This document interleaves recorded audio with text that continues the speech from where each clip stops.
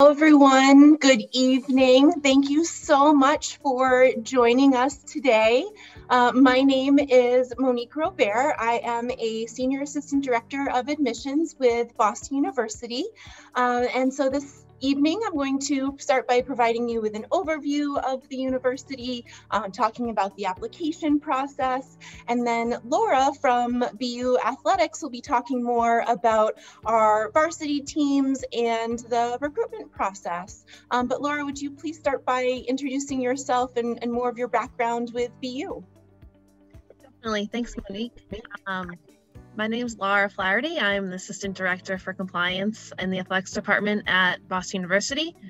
I've been in this current role uh, for six for the, past six past for the past six years, eight years overall uh, at BU, uh, and within my role in the compliance office, I serve as a resource for our athletics department um, in regards to our NCAA rules and regulations and how everyone is impacted by them.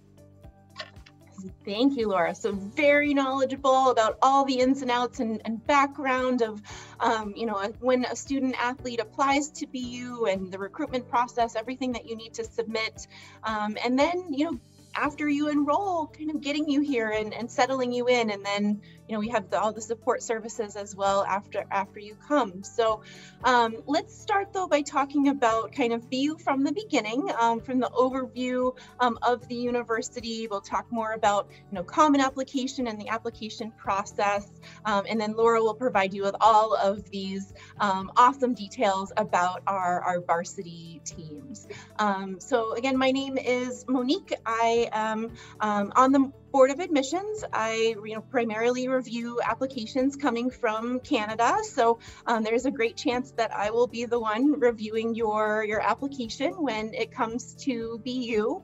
Um, and so I really want to share my insight with you um, about the university and our process. I've been with BU Admissions for about 12 years now. Um, I'm also an alum of the College of Arts and Sciences.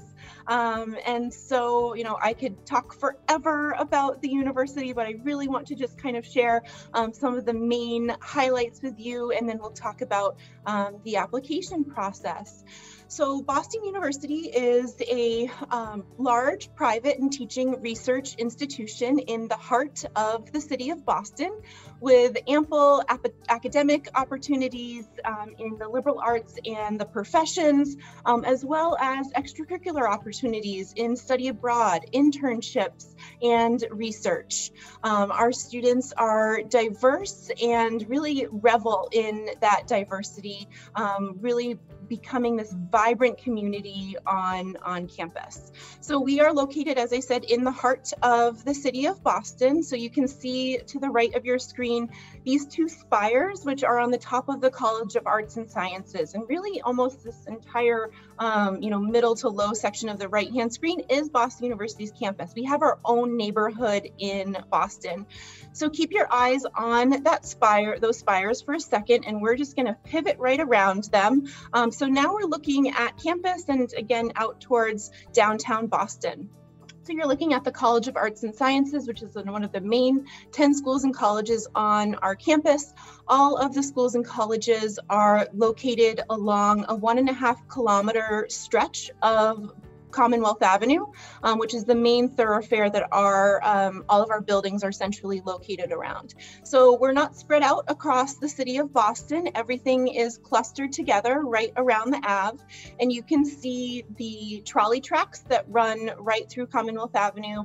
Um, we call it the T. Um, it's the MBTA public transportation, um, and so you can jump on the T, the trolley. Um, it'll take you right to downtown Boston in just a couple of stops. So we are very well integrated integrated into our urban environment, but we are residential campus. Um, so all of our first year students are required to live on campus their first year, and we guarantee housing for all four years, which is a great option um, when you're in a big urban city like Boston. Um, so all of the schools and colleges, as I mentioned, are right on our Charles River campus. They offer over 300 different programs of study. Um, and students can take a minor concentration outside of their major degree program across the different divisions. Um, we're really well known for our academic flexibility, really giving students an abundance of choice because we find, given the diversity of our students, that they are interested in a wide variety of academic areas. Our students come from all 50 states and over 100 countries. We're 24% in international in our undergraduate class of over 16,000 undergraduate students. Um, so our students come from a wide variety of backgrounds, from cultural, religious, socioeconomic, um, political backgrounds. And they are very academically curious as well and want to really explore a wide variety of areas. Um, so when you come to BU, you'll apply to one specific school or college, and if you know what you'd like to study, a major within that program. Um, so if you know that you would like to study finance in the Questrom School of Business, you apply directly to finance. If you want, know that you want to study advertising in the College of Communication, you apply directly to that, or English, or um, hospitality, or education. You have a wide variety. If you know specifically that you want to go into that program, that's what you put on your application. Um, but we know that not everyone has made up their mind just yet. So we do have an undeclared option as well. About 30% of our students enroll undeclared. Um, so maybe you have no clue what you'd like to study at university. Maybe you're choosing between just way too many things to put one on your application. So you can enroll undeclared. Um, it's really popular with our students. About 30% of our students enroll undeclared. Um, and so you are able to dabble and, and try on different programs. And then at the end of your second year, you declare your major. Previously from there, you've probably satisfied most of the general education requirements as you're dabbling along. Um, so then you're able to focus your last two years in the requirements specific to your major. So changing, trying on different things isn't going to add any more time to your four-year degree. Um, actually, about 80% of BU students change their major at least once before they graduate, um, just really showing how easy it is, it is to change your major. Um, but we want students to explore. So again, you can have a minor concentration outside of your major. We also allow for dual or double degrees. So if you wanted to pursue two bachelor, bachelor's degrees simultaneously, you can combine them in a way that you're able to complete both um, within the traditional four years. Um, you'll have a professional academic advisor for each major or minor that you declare, um, and they'll help guide you along your academic pathway. Um, but of course, your faculty are going to be an amazing resource for you along the way too. Um, BU, even though we are a fairly large school, our student to our student to faculty ratio is still very small at only 10 to 1. Um, so if you are used to the, those small class sizes, you can still expect that at a larger institution like BU. Um, our average class size is just 27 students. In fact, about 80% of your classes are going to be 27 or smaller. Only about 4% of your classes are going to be those larger lectures. So yes, every university student has some lectures that they'll go to, um, especially in their first few years, like economics 101 is one of the bigger ones. Biology 101 pretty big. Um, but if you have those lectures that are 150 students they must be paired with smaller discussion sessions that are capped at 25 students um, where you learn no additional information. You're recapping what you went over in lecture um, with a professor or teaching fellow um, and really able to to grasp that information um, beyond the the lecture. And then of course all of the faculty are required to have office hours. Um, we really encourage you to go to the office hours, not just to talk to your next paper or project, um, but also just what you're interested in studying, what you think your future profession might be. Your faculty member might have an insight into that. Or maybe just what living in Boston is like if you haven't ever lived in a big city. They want to share those experiences for you, become your, your kind of second family on campus, a support network that you can really uh, lean into um, when you're exploring everything that you have on campus.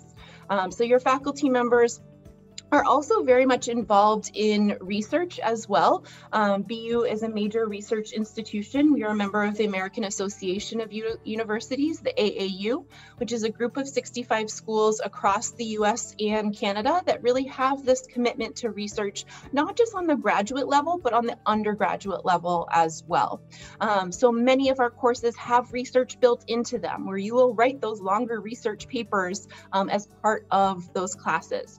Many of our faculty, though, are involved in their own research projects and they need volunteers to help them get that work done. And they'll look very much to um, undergraduate students as well um, to assisting them with those, those research projects. But we also have a student-driven research program called the Undergraduate Under the Undergraduate Research Opportunities Program, or UROP. Um, so this student-driven program is where you come up with a project on your own um, your own idea, this burning question that you've always wanted to answer.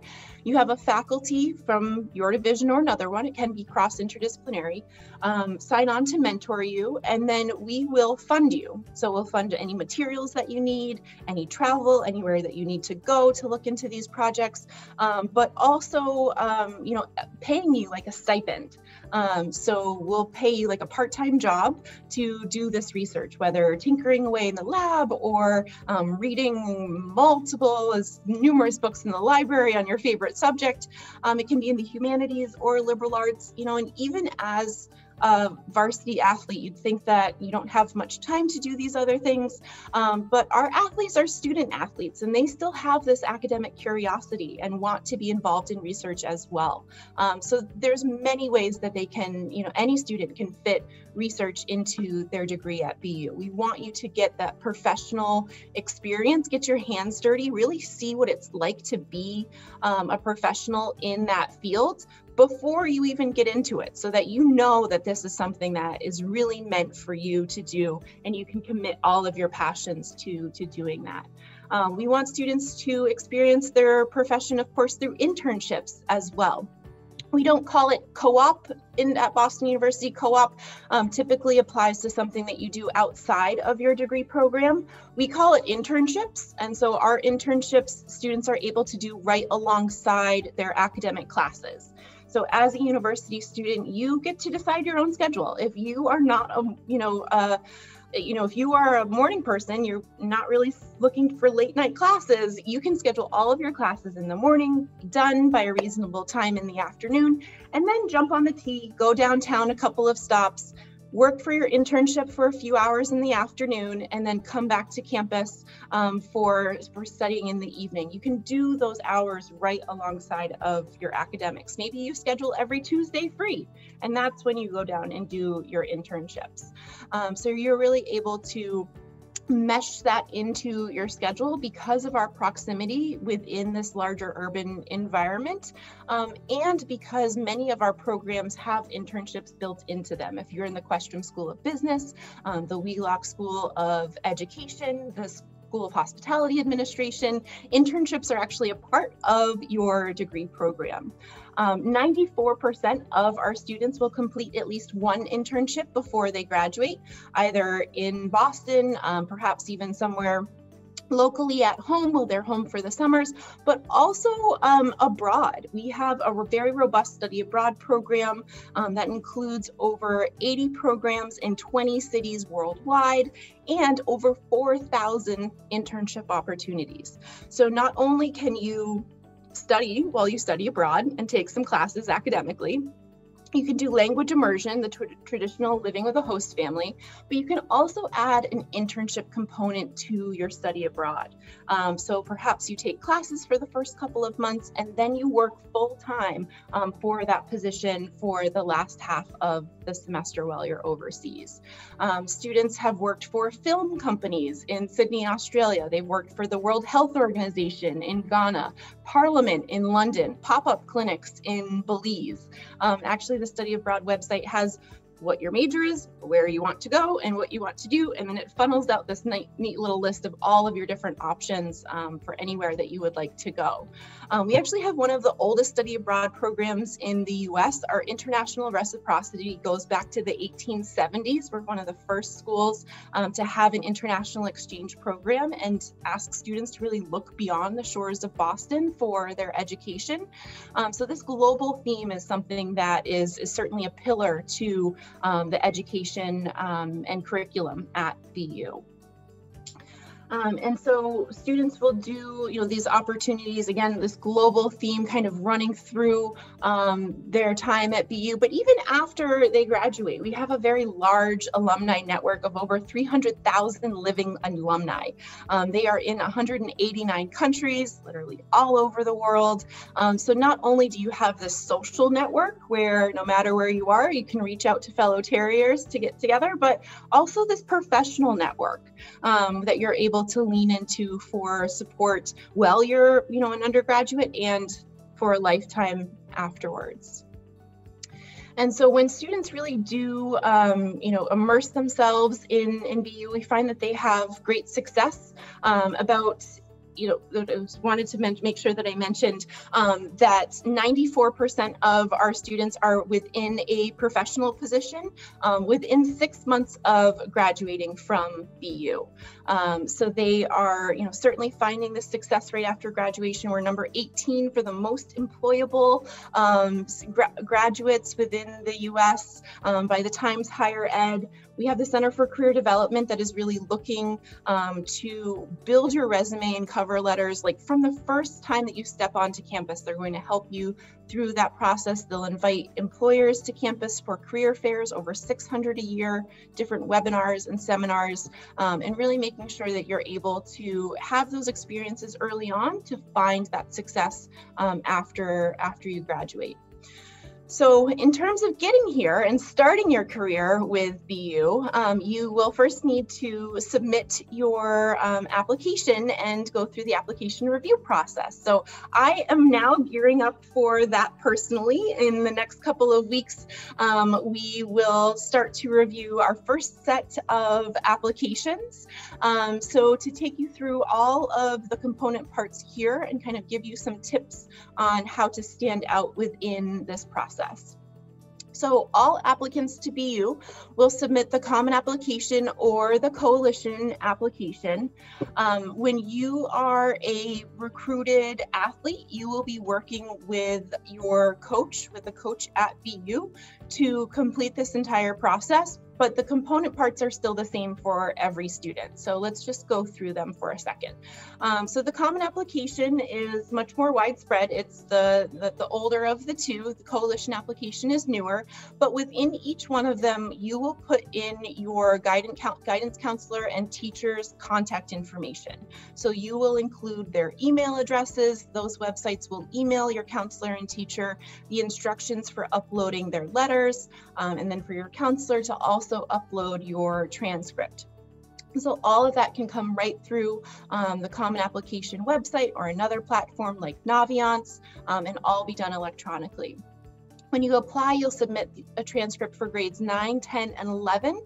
And then after your first marking period, whether it's your first trimester or first semester, first quarter, um, your guidance counselor will send in the mid-year report that has your updated grades. Um, so even after your application deadline passes, we'll still want that update to your application so we have the most um, recent grading information. You'll also, through those application websites, submit your essays. You'll submit um, kind of the longer um, topic of your choice essay and then the shorter why Boston University essay. Um, so you have at least two to submit for any application. Um, for the YBU essay, I would just recommend, um, you know, taking a moment, going onto our website, picking out some particular specific details to BU um, and putting those keywords into your essay to really make it very specific to Boston University. Um, there are 60 institutions in a six mile radius of Boston. Um, so if you just want to go to school in Boston um, because you like, you know, revolutionary history and you're a hockey fan, um, you know, you can really get that experience from anywhere in, in the city. But why particularly do you want to go to BU? If you're a recruited athlete, that's a great reason. But also, um, you know, what do you, else do you hope to do while you're at BU? Is there a major perhaps that you're interested in, a faculty member that you want to study with, um, just a place on campus that you look forward to hanging out on? Um, it helps us as the Board of Admissions really picture you in that role um, to really picture you as a member of the BU community. So do take a moment with your, your essays and do that research um, for each individual school's specific essay. Um, then if you are applying to the College of Fine Arts, not so common for an athlete, but it still could happen. Um, just note that you would need a portfolio, an audition, um, you know, a portfolio or an audition for your application to theater, music, or um, or the visual arts. If you're applying early decision, there'll be an early decision agreement to to fill out, um, and so that is a binding option. We don't have early action, which is not binding. We just have early decision. Um, we have two rounds of it though, early decision one and two and then regular decision. Um, students apply early decision to schools if it's their top choice, your number one choice. You really just do not want to go anywhere else. You're ready to commit now to that top choice school. Um, those are the ones that you apply early decision to, um, and it really is a great way to stand out in that small applicant pool. Um, then if you're an international student, a non-US citizen or permanent resident, we would also ask for the confidential statement of financing studies um, just as part to, as your of your international student application so that we can create your um, visa documentation later on um, after you enroll. Uh, those are all kind of the basic component parts of your application I'll touch on um, some more in just a little moment. Um, but one thing that I really want to make sure that I highlight here um, is standardized testing. So for students applying to, um, so for your grade 12 students who are starting or are applying to start in the fall 2021 semester, um, BU is test optional. And we really, really mean that. So you have the decision whether or not you want to submit SAT or ACT scores. On the Common Application, you'll select whether or not you're planning on sending in your scores. If you do send them to us, they will absolutely be reviewed as part of your application but you get to decide whether or not um, you want to send them. So um, any student, including athletes to apply for the fall 2021 semester, um, we are test optional. So if you do not want to send in your SAT scores, your ACT scores, you are not required to. You're not required to for application to any major or any scholarship, um, any of the merit-based scholarships even that we offer. There's a full tuition trustee scholarship, a $25,000 presidential scholarship. Both of those do not require um, SAT or ACT scores. When you're thinking about whether or not you want to send your test scores in, and I know a lot of schools are test optional this year.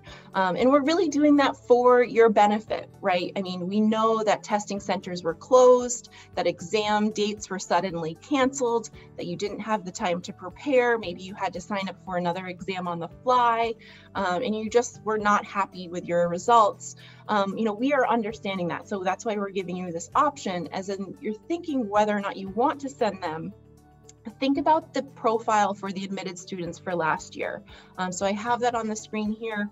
For our admitted students last year, for, for all students, and we have an incoming class size of 3,100 students. Um, the average the middle 50% SAT range was between a 1420 and a 1540. Um, the ACT range was between a 32 and a 35, and this is for, you know, all students who were admitted to the university this past year. So thinking about whether or not you want to send your scores in, think about those ranges for last year's students as well. Um, but also think about whether or not they're a good reflection of your academic abilities. If you think that your grades and the courses that you've taken really are the better reflection of your academic aptitude um, and you're not so happy with your test scores, you now have the option of not having to send in those SAT scores.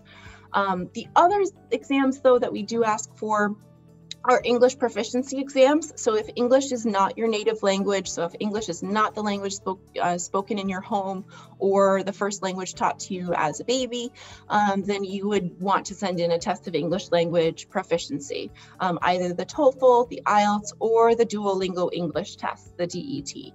Um, Duolingo is a really quick option. So if you haven't taken the exams yet this year and you want to add an English exam to your application, Duolingo is a great option because it can be sent to us within three days of you taking the um, taking the test. So it's very quick. You can take it from anywhere. There's no specific test dates. You do it from home. Um, so that can be a way to add a test to your application if you need to. In terms of what we're looking for overall in your application, this is a common question. What's the most important part of my application? Um, you are applying for an academic position at university. Um, you're applying to study for a bachelor's degree even if you are an athlete, you're a student athlete, and at the end, you're going to walk away from BU with your diploma in your bachelor's degree. So, your academics are going to be first and foremost in our review of your admissibility to the university.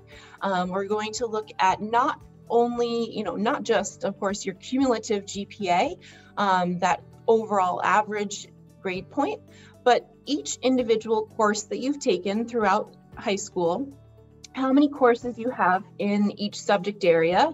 Um, we are a liberal arts based school, so we like to see a well rounded curriculum.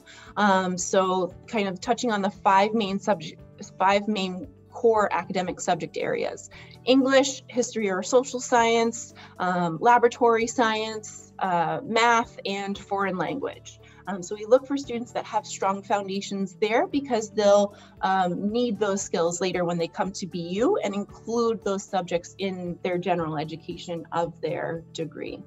So we look for that well-rounded curriculum, but then we also look for students who are challenging themselves in that curriculum. BU is a selective school, so we do like to see that if you have um, honors or AP or international baccalaureate courses available to you, um, that you explore those courses and that you challenge yourself with those courses. Now, that's only if it's available to you. If your school does not offer AP, if your school does not offer the International Baccalaureate, of course, we cannot expect you um, to have taken those classes, but we can expect you um, to really take advantage and make the most of everything that your school environment does offer. Every student is really evaluated within the context of um, the school from which they apply. So, in addition to um, your academics, we're also building a community at BU. Um, we want students who are not only going to thrive academically, but who are also going to immerse themselves in our community, um, who are going to contribute and be impactful and, um, you know, have a positive um, interaction with the, the students on and faculty and staff on campus. So we'll also review your recommendations, um, how you conduct yourself at your school, how you conduct yourself within your community. Um, we look at your extracurricular activities. Um, there's no hierarchy of, of activities. It's not that one is better than another, but we're looking for your passions and your motivations. We want to see that there is something that you care very deeply about and that you really devote your time to, that you commit yourself to those things that you care deeply about. Um, and so that's what we're looking for in your application, um, in your extracurricular activities. Um, and then, of course, is your writing sample. We want to know more about those passions and motivations um, and really your character as well. Um, and so that will come through to us on your writing samples in a way that can't come from any other part of your application. So as you are deciding, um, you know, what type of application to submit, um, again, you'll have the choice between early decision, early decision two, or regular decision. On your application, you select your type of application, early decision or regular decision, um, and then you submit it at the appropriate time for um, you know what you would like to be considered for. So we have here the December 1st deadline for merit scholarships. So if you want to apply for a merit scholarship, you select either early decision one or two or regular decision and then submit your application in by December 1st to be considered for these academic merit awards. Um, so first we'll you know admit students and then all of the top students who've applied for a merit scholarship will then be considered for those awards. Um, students who are typically in the top 10% of their class are um, competitive for the presidential scholarship, which is $25,000 a year US for four years. Um, and then the trustee scholarship is full tuition and fees for four years. Um, there is an extra essay component on the application. You'll select yes on the BU member page to applying to the trustee scholarship. An additional essay section will open up and you'll submit your essay for um, the trustee scholarship. There is a faculty review component um, for the trustee awards. Um, and those, um, you know, that so that review process is a lot is a little bit more comprehensive, um, but you'll select either type of application, then just submit it by December 1st to be considered for those scholarships. Um, and so early decision one, the deadline is November 1st. You'll have your decision back by December 15th. Early decision two, the deadline is January 5th. January 1st, you'll have your decision back by mid-February. And just a note with early decision, so last year we enrolled 46% of our class out of early decision one and one or two. Um, we had over 60,000 students apply for admission to this year's um, first year class. Our first year class size is 3,100 students, and about half of them were enrolled through early decision. So you'll actually work with your coach too on um, what is going to be the best type of application for you to submit, whether early decision or regular decision. Um, your coach will give you um, that insight again, and you'll work very closely with them on all of these various component parts um, when applying to BU. So at this point, I am going to um, pass the baton to Laura to speak more about our wonderful athletics department, our varsity sports teams, and the recruiting process. Um, our claim to fame is probably our, um, you know, men's varsity ice hockey team. Our women's ice hockey team, though, have hold a special place in my heart for their recent um, showing in the Winter Olympics. Uh, many BU alums on, on that team, but Laura will give you more um, inside scoop about our players um, and how they, they get to BU. Uh, thanks, Monique. Uh, a lot of valuable information about BU and about the admissions process. Um, and like I said at the beginning, um, I've been in my role uh, for the past six years um, and eight years overall at Boston University. Uh, within my role, um, again, I serve as a resource for our athletics department. I just want to go into just what I what I do, and so I, I am I'm I'm here to provide a prom, a positive experience and also to provide guidance to student athletes, our coaches, our athletic staff, our student athlete parents, and to our BU community. The purpose of this is to ultimately promote and protect our teams, the athletics department, and the university because we have NCAA rules to follow and to keep track of. The compliance office uh, is responsible for informing student athletes and coaches and staff in our BU community of the NCAA rules and regulations that impact them. So to go into uh, the athletics department, uh, the athletics department serves as a source of spirit and pride for the campus with roughly 600 student athletes competing at the highest level of college athletics in 24, 24 NCAA Division One varsity sports.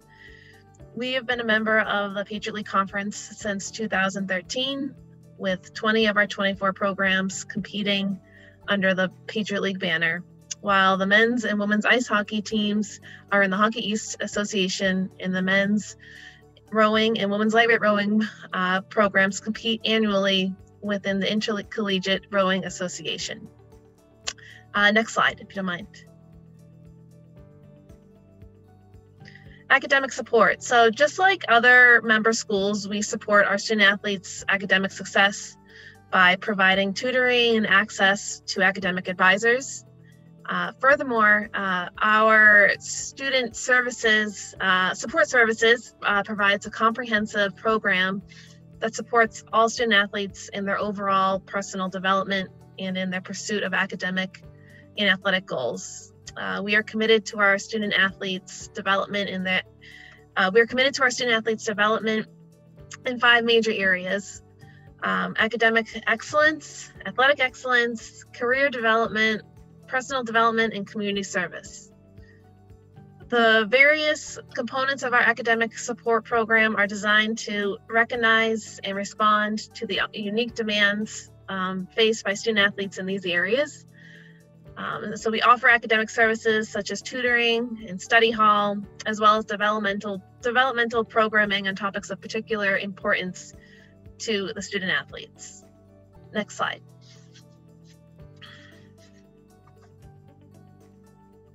Next slide, sorry. And sorry, Laura. I just also want to add in, yeah. um, just in terms of, of support for both our student athletes, but for all of our students um, with the Educational Resource Center.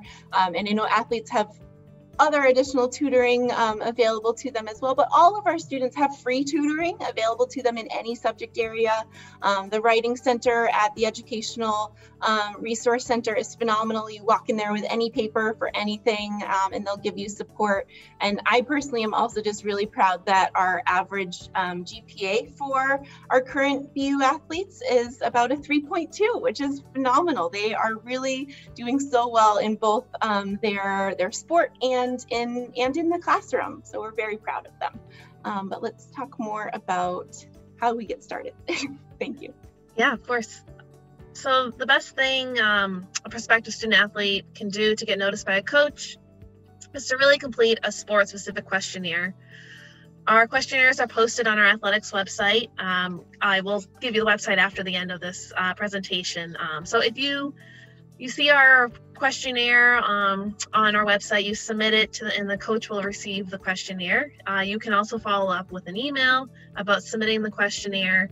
Um, but because of NCAA rules, the coach uh, may not be able to reply right away to your email, depending on what uh, what year you are in high school. Um, which kind of brings me to our next slide.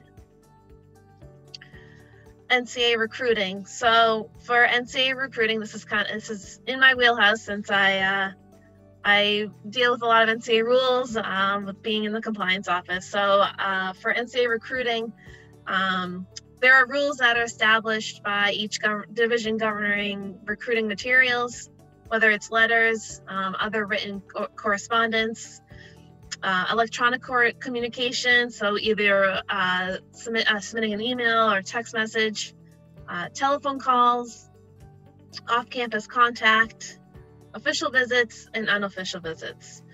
And so Division One has its own set of restrictions uh, for when a college coach can send material, send materials, uh, communicate, whether again it's via email, text, and, or phone calls, when we can provide visits and have contact with prospective student athletes. Uh, the NCAA rules governing this, the means and times of recruit timing of recruitment vary by sport.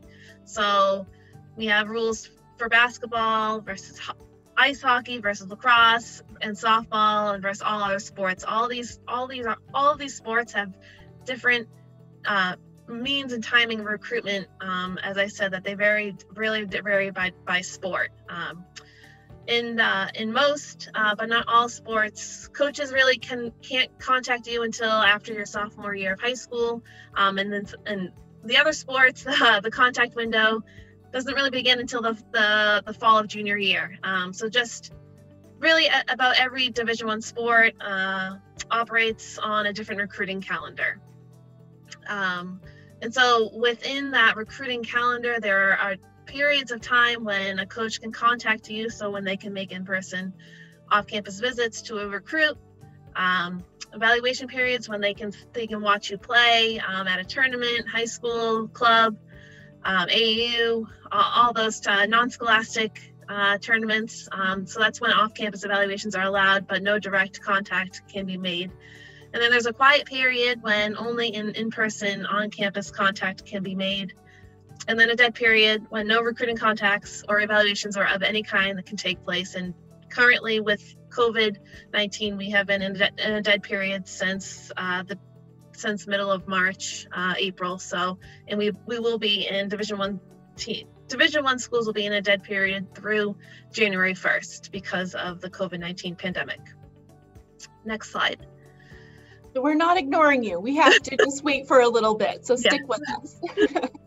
coaches uh sorry just to go back on that coaches still can uh, communicate via phone um, and email. Again if you are a contactable recruit um, they can still do that during a dead period. They just can't uh, watch you um, in person uh, or have any visits on campus. Um, and then uh, processing through the uh, recruiting process the ncaa eligibility center um, registration so if you do want to play sport and say sport, and particularly if you want to play at Boston University, you will need to register at the Eligibility Center. Um, eligibilitycenter.org is where you can where you can best uh, where you can sign up and register for the Eligibility Center. Um, and so the, they really try to um, have you plan to register during your freshman year of high school. Um, and once you're registered, you will receive a list of tasks that that will be need need to be completed in order to receive the required uh, certification through the Eligibility Center. Uh, so those tasks should be completed by the deadlines, um, the prescribed deadlines to ensure that you are certified as eligible prior to enrolling at the university. And so to go off of that, to be eligible for practice, competition, financial aid, incoming freshmen must be certified by the NCAA Eligibility Center, like I said, um, and this requirement applies to all student athletes, including those on scholarship and walk-ons. Uh, the Eligibility Center uh, certifies both the academic part and also the amateur status of prospects.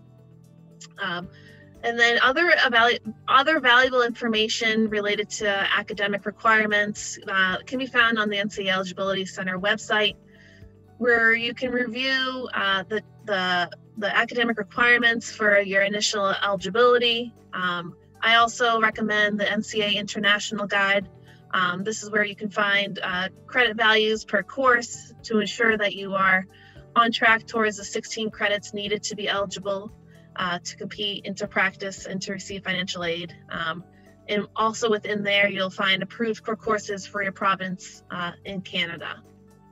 Um, and then uh, overall, just I just want to end um, my part. I know it's pretty quick, but um, I just want to kind of say uh, you know, to learn more about our department and our programs, our facilities, you can go to our uh, website, goterriers.com. Um, that's where you'll find all of our programs, like I said, coaches, uh, the coaching staffs, um, and then uh, our facilities as well. So thank you.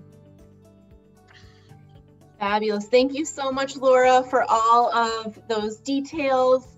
Um, and, you know, I've learned a lot in just working on um, this presentation with you of, um, you know, kind of the additional steps for athletes. We know that um, because of these additional steps, it can be, um, you know, um, little bit more complicated process. So we really want you to reach out to us. Like we are here to support you in every step of the way um, if you are, are, interested in BU. So you have my email address here. Um, you have the Go Terriers website um, with Laura's contact information, with Laura's information there. Um, and as we mentioned, each one of not only the, the questionnaires for your sport are available on goterriers.com. Actually, if you just Google Boston University Prospect um, questionnaire. It'll be like the first one that comes up. Um, so that's an easy way to find it. But also just Googling Boston University Athletic Staff Directory, you'll come up with the contact information for everyone in our athletics department, including the head coaches for your sport. Um, and so you um, you know have the option of, of reaching out to them. Laura walked you through um, kind of what the the rules are that we need to follow of when we're responding to, um, you know, going out and, and watching you play and whatnot. But starting that process yourself and sending a little email to the coach, right, Laura, just, hey, my name is, I'm from, you know, Ontario, Toronto, um, from British Columbia. I'm from Nova Scotia, and I would love to play for your sport. Um, I would love to row for BU or be on the swimming team or, okay, maybe be on the hockey team. Um, and you really start that process of, of what that looks like with BU. Just even a casual email, it doesn't have to have links to fancy videos and everything like that. Um, just getting that process started, getting your you know toe in the water um, can be a, a, good initiation of this process. Um, but then lean into us for any questions that, that you have. Um, we have an abundance of other virtual programming available on our visitor website um, and really a lot of different ways for you to explore BU. So we have live uh, virtual campus tours now. So students will take you out on their, you know, videos um, on their stabilized uh, cameras videoing camera, uh, campus for you. Um, you're able to ask questions live, so that's a great way to, to get a good view of campus right now. There's a lot of recorded campus uh, tours as well. Um, then there's informational sessions, so a member of the Board of Admissions like myself and current students um, giving you know, a similar presentation, but much more detail, like a longer time allotted um, about all of our various programs. Um, there's programming specific to individual schools and colleges, specific to early decisions, specific to medicine um, and health sciences. Um, and if you just follow us on social media, you'll get um, kind of pop-ups and reminders for when new events are added as well. So do stay in contact with us. Um, we would love to hear from you all. Um, but thank you so much for visiting with us this evening. We really appreciate um, the time that you've taken out um, to, to spend with us and learn more about Boston University. Uh, and we very much appreciate it.